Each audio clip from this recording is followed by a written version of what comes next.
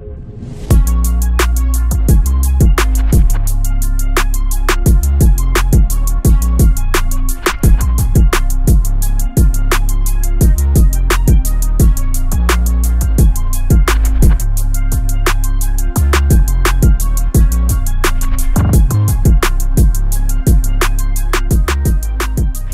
Welcome back to AFTV everyone. Time to preview Arsenal versus Sheffield United. Arsenal back at home for the first time since beating Manchester City here. It was a massive game. They've since played Chelsea away from home, rescued a draw despite a really poor performance, really, but they showed some fight at the end and then went to Sevilla and got a really big win in the Champions League group. Turkish and Cecil here to look ahead to it.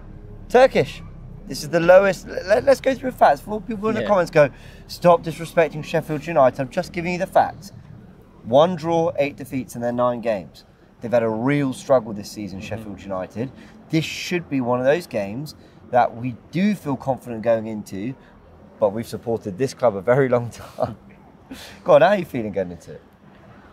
Yeah, we've supported this club a hell of a long time. Uh, but listen, recent history will tell Mm. you that we should be dispatching of Sheffield United with relative ease. Mm-hmm. And I look at our performance against Sevilla, and I called it our, our best performance of the season.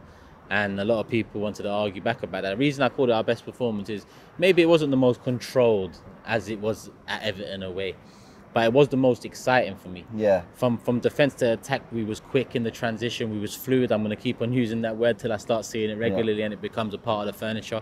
Um, and, and we was excited. There was something about us. We was a threat. You know, pretty much every time we moved into the final third. Yeah, I agree. I think that was a rare, that's been a rarity all season. So I expect to take that into this game. We're home against the poorest side so far this season in the Premier League. Yeah, Let's yeah. be honest, if not the poorest, joint poorest side in the in the season so far. Yeah, and that is true. That is, those are the facts. Let's try though and offer some sort of look as to why maybe Arsenal fans are so. Listen, forget the Arsenal fans. The Arsenal players shouldn't have any complacency going in. A because it's football and things happen.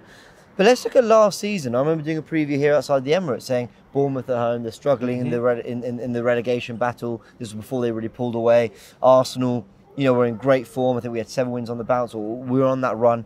And it took a Reiss Nelson 97th minute winner to go and get it over the line. And then we really struggled in that game. To even though we were kind of come to the half creating chances, we eventually got over the line with the last kick. You know, that can happen in football. Yeah, it definitely can happen, James. And and I'm not, I'm not the one. Listen, I know everyone's pretty confident because, like you said, Sheffield they haven't haven't haven't won all season, and we're going into this game unbeaten in the league. So, you know, it's like two, two, two different ends of the spectrum, and people will be confident off the back of that and think, you know, Arsenal should be able to easily be be comfortable in this win. But like you just mentioned there, Bournemouth here, the last minute by Reiss Nelson. No one really saw that coming. Them getting an early goal and us having to really scrape by to get a win. I've seen Arsenal play Southampton. when they've had a terrible season, but haven't been able to pick up a win against them. Um, so I'm not, and knowing me, when I get too confident as well, Arsenal would love to just say, nah, Cecil, mate. We're going to throw something in the, in the works here that's going to upset you. So, listen, it's the Premier League. It's the, it's the, it's the best com- best league in, in the world. and It is competitive.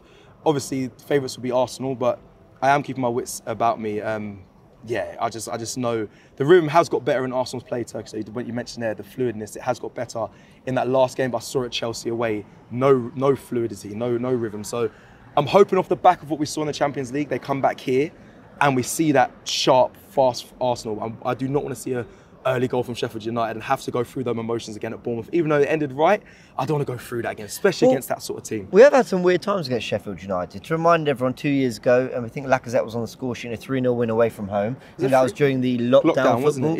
Yeah. Um, we did beat them 2 1 here as well. Bukayo Saka, I think, got his first Premier League goal. No. It wouldn't have been his first Premier League goal, maybe his first goal at the Emirates or something in that game. The year before that, though, we lost 1 0 away Mm, from home. Pepe missed that big Yeah. chance, remember that. Uh, we even drew 1 1. Mikel Arteta, one of his early home games, I think we went 1 0 up before they pulled one back. So we've had sticky moments. I even remember, I think it was Phil Jagielka going in goal away from home and we lost in a 1 0 defeat. This was all the Oh, way back yeah, in 2006 7, I think. So, while those Sheffield United teams might have been going through different times to this one, I mean, listen, one draw and eight defeats is a really, it's a really poor run. we've, we've had a weird history with them, certainly a weird recent history.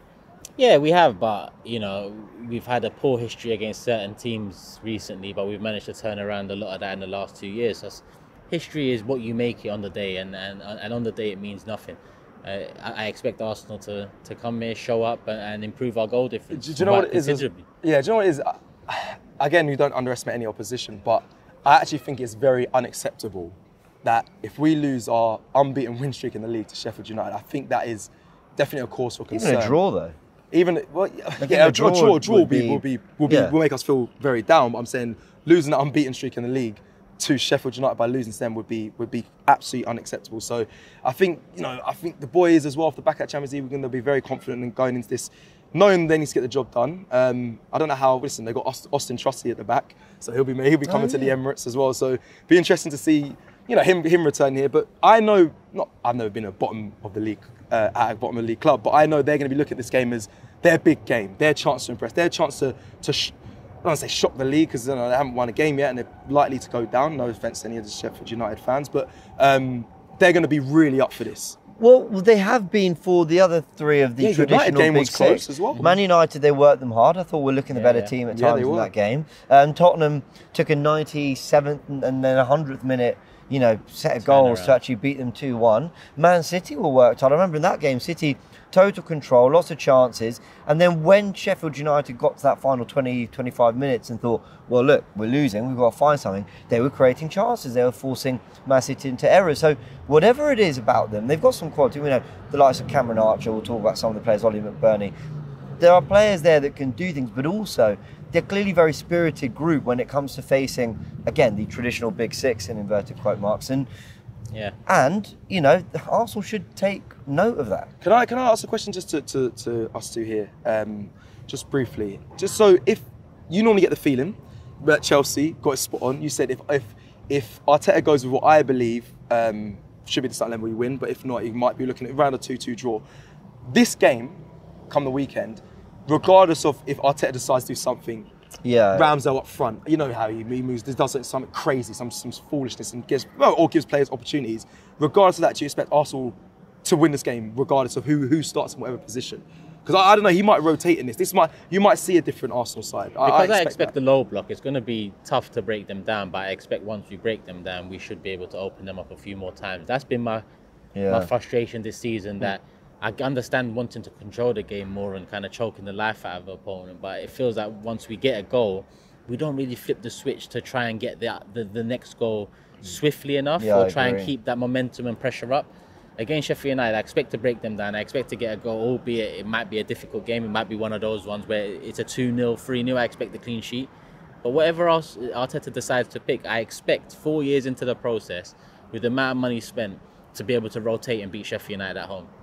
Whether it happens or not, or whether there's history that tells you that it, it, it's not the case, that's all good and well. I agree with that too. But fourth year of the process, all the money spent, you can rotate a little. If you take away Sheffield all the history, the context, which I think does play a factor in football to a degree, but when you just go 11 for 11, for 11 and the form they're in with, you know, what's going out there that can actually have a legitimate, tangible effect on the result, Mm-hmm. I agree. It should be somewhat comfortable. But like I said, two goals for Spurs very late on. United with a worldie to win it. Man City, I think, with a very late goal to win against Sheffield United they have shown Sheffield United don't think that you can just rock up and score five. Now Arsenal are capable of that, but how do Arsenal approach this game? Because we talked about the lack of fluidity. We talked about while it was improved against Sevilla, there has been a move towards control and not conceding chance in transition. So how do Arsenal approach this from the sense of do you press from the front all over them, try and force them into errors, try and blitz teams like we did last season? I think I read a great stat from a guy called Scott Willis on, on Twitter was saying last season we'd scored however many goals in the first 15 minutes by this point. I think maybe four or five goals were in the opening 15 minutes of games. This season we haven't scored any in the opening 15 mm-hmm. minutes. So there's no question that we are starting games slow and building our way into them.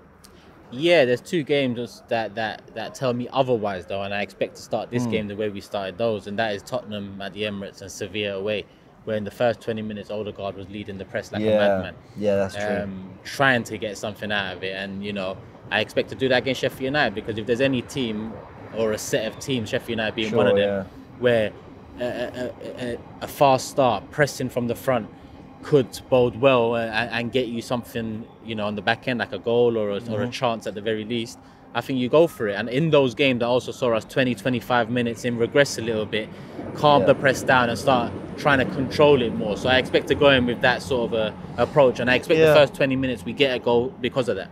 Yeah, I, I, I, there's a stat that um, we've scored the most amount of goals in the last 15 minutes of a game um, in the league. So we were the, we're the top of that. Um, don't want to get no late winners, and we also can see the least amount of, of goals as well in the league so far. So we, we should be able to do this comfortably. I think Arsenal, like Turk said, I think we go for it. In my opinion, I think we go strong um, and get the job done because the next game we've got a cup game on the first of November. My birthday.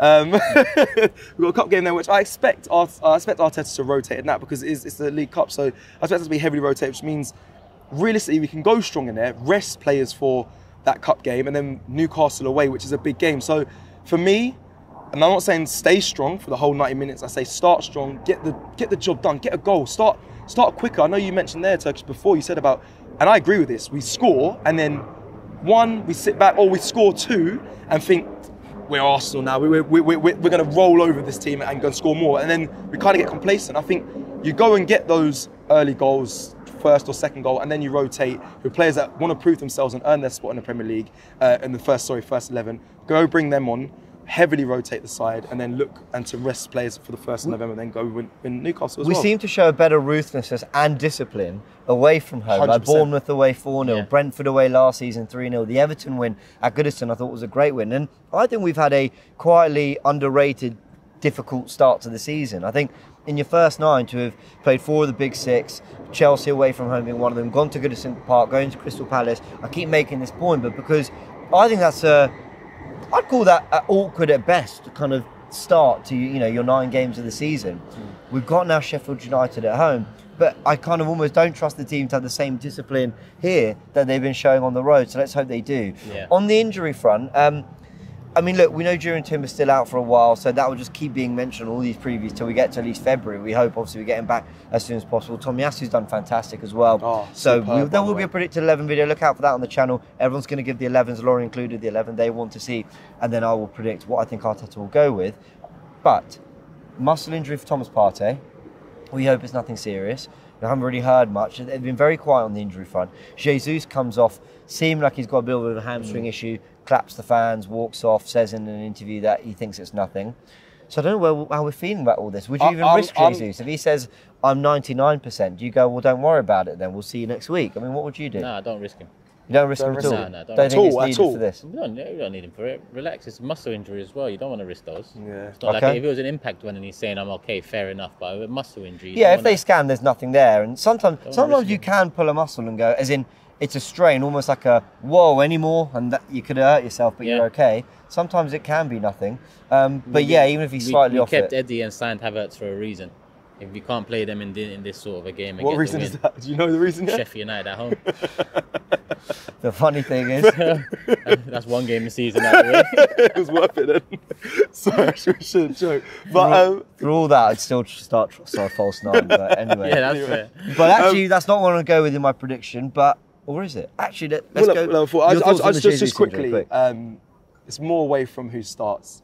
I have to say, I'm getting tired of if if it is injuries to these players, Partey and Jesus, their injury record, it, it's starting to annoy Oh, me as a go. fan. We're entering the. Yeah, uh, we are. Just sell them. Yeah. If they're not available, get rid of them. You know my availability, availability argument. I'm not going to say sell them yet. Partey's under pressure because we have Rice in the side, and I feel like now it's not a massive need that we have to have Thomas Partey, but his injury record is is atrocious. It's Yeah. it's frustrating me as a fan. It's actually starting to get on my nerves a little bit, and I understand his quality, but if you're a big club that we are, Arsenal, I think you've got to start looking at that and looking for the next option now, def- or an improvement in that because his injury record is terrible. And then Jesus as well. I've mentioned in previous shows as well. His ones is just as bad. It's, it's, getting, it's, it's starting to rack up, and he offers so much, and I love watching Je- Jesus play so much.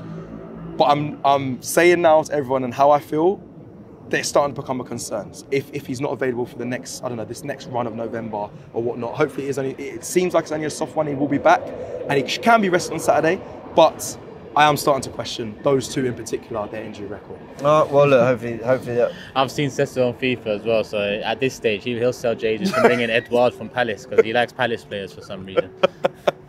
He's not wrong. Did you sign Edouard from Palace? I like Palace players. I, just, I don't know what Did- it is. did you I didn't sign Edward. Edouard. Edouard? No, I didn't, Tyrick but he signed Mitchell. Yeah, but he's a good player though. I Do you delivered that understand? one. it? Thank. Bro, FIFA's it's you. game, It's though, you. The man. Like, like, in, like, come on, it's Yeah. a game. Yeah, is yeah, it is it a game signing No, Mitchell? Like, Tyrick bro, is that's good, man. Anyway, but so that's another conversation. Go check out the FIFA Twitch streams every Wednesday live with these two bickering, I imagine, Yeah, no over who to sign. And uh, I did walk in when you guys bottled it home to Nottingham Forest. yeah. But- We've come a long way since then. Yeah, we have actually. Fair enough.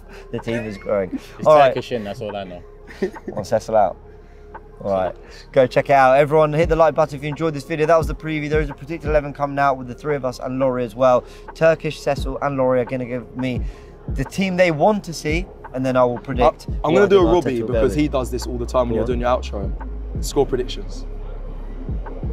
Sorry, I'm just. That's what. Ro- If Robbie was Seems here, I just know we're all going to predict them later on the starting line, but go on. oh, I, I'm not. Might have been. I won't be on the starting eleven, but for me, four-one. I said 3 1 on forever, I think. 3 0. Okay, there we go. Let me know your score predictions in the comments below. Check out the uh, Predict 11 coming out shortly. Catch you in a bit.